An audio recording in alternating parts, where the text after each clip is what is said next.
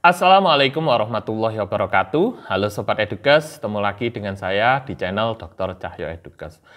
Sobat, bila Anda saat ini adalah seorang wanita yang sedang hamil dan sedang mengalami susah buang air besar, Anda tidak perlu khawatir. Anda tidak sendirian mengalami hal tersebut karena sebagian besar wanita yang sedang hamil ini juga mengalami hal serupa dengan yang Anda rasakan saat ini. Nah, susah BAB pada uh, pada wanita hamil ini disebabkan oleh banyak hal. Ini mulai akibat peningkatan hormon kehamilan yang menyebabkan uh, menurunnya kinerja dari otot otot polos di usus, kemudian perkembangan uterus yang semakin membesar, konsumsi suplemen penambah darah yang membuat tinja menjadi lebih keras ya, kemudian stres, kurang gerak, kurang minum dan kurang makan buah serta sayur kemudian hingga kondisi flora normal usus yang tidak seimbang. Nah, bila susah BAB pada wanita hamil ini tidak diatasi dengan baik, tidak jarang ini akan menimbulkan masalah yang baru, yaitu munculnya penyakit ambeien atau wasir. Nah, nah pada kesempatan kali ini saya akan coba untuk membagikan tips ya, bagaimana cara mengatasi susah BAB pada wanita hamil. Apa saja itu? Mari kita bahas satu persatu. Nah, ini yang pertama, perbaiki ibadah Anda. Anda loh, kok itu ya apa? Anda mungkin bertanya-tanya kok apa? E, memperbaiki ibadah apa hubungannya dengan susah buang air besar?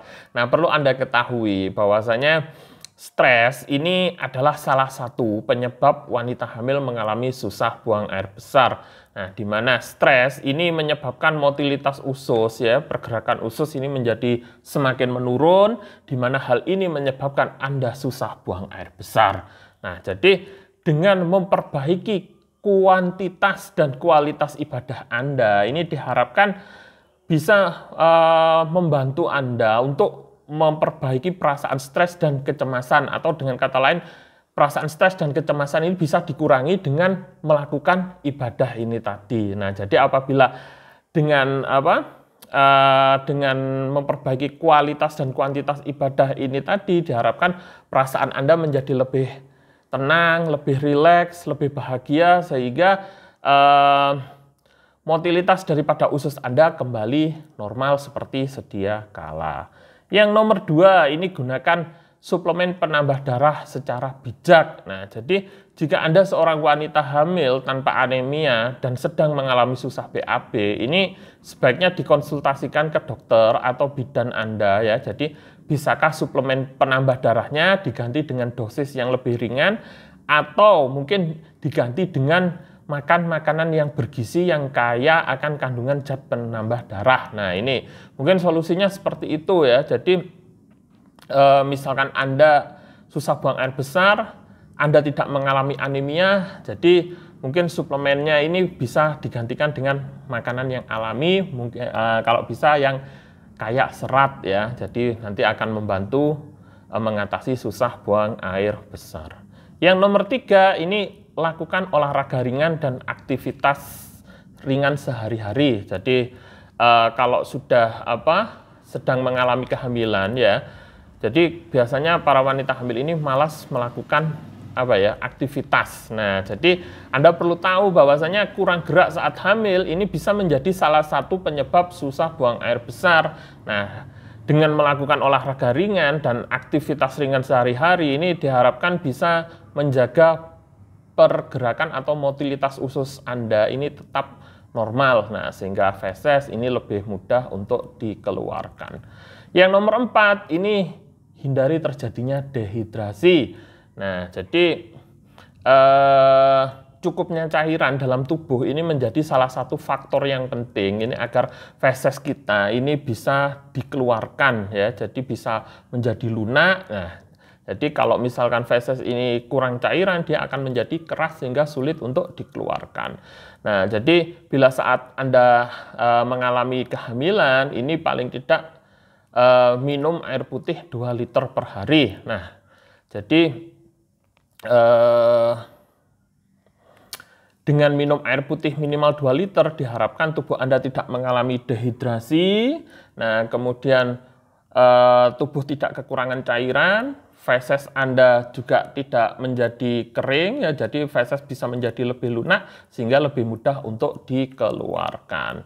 Yang nomor lima ini rutin konsumsi sayur dan buah. Nah, jadi eh, sayur dan buah yang eh, kaya akan serat ini bisa membuat feses Anda lebih lunak dan licin sehingga mudah untuk dikeluarkan. Nah, selain itu, serat dalam buah dan sayur ini juga bermanfaat sebagai prebiotik yang bermanfaat untuk memberi makanan kepada flora normal usus. Nah, sehingga flora normal usus yang uh, flora normal usus ini menjadi lebih apa ya?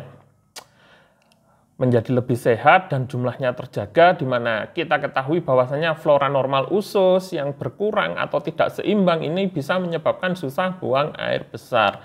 Nah, jadi eh, penting ya untuk eh, ibu hamil ini rutin mengkonsumsi sayur dan buah setiap hari. Jadi contoh sayur dan buah yang baik untuk ibu hamil ini misalkan contohnya ya selada air, bayam, brokoli, wortel, kemudian buahnya bisa berupa jeruk, apel, pepaya, pisang, alpukat dan lain-lain ya ya. Jadi tidak hanya sebatas itu. Ini hanya salah satu contohnya saja. Kemudian yang nomor enam eh, konsumsi yogurt sebagai sumber probiotik. Nah, ini probiotik ini akan bersimbiosis dengan flora normal usus. Nah, sehingga usus kita ini bekerja menja apa? Uh, usus kita ini bisa bekerja menjadi uh, lebih baik, kemudian pergerakan dari otot-otot usus ini menjadi normal, sehingga feses ini bisa dikeluarkan dengan lebih mudah. Nah, jadi untuk wanita hamil ini coba dipilih yogurt yang rendah lemak ya, agar tidak terjadi penambahan berat badan yang signifikan melebihi batas yang sudah ditentukan. Kemudian uh, tanpa pemanis ya, dan berbahan susu yang sudah dipasteurisasi. Jadi Anda kalau bisa cari yogurt yang syaratnya saya sebutkan barusan. Yang nomor tujuh ini hindari makanan penyebab susah buang air besar. Nah, apa saja makanannya Anda bisa tonton di video saya yang judulnya kalau tidak salah itu makanan e, penyebab susah buang air besar. Nah, jadi itu adalah tujuh tips ya yang bisa dilakukan di rumah oleh Anda, seorang wanita hamil yang saat ini sedang mengalami susah buang air besar. Semoga bermanfaat. Salam edukasi kesehatan. Wassalamualaikum warahmatullahi wabarakatuh.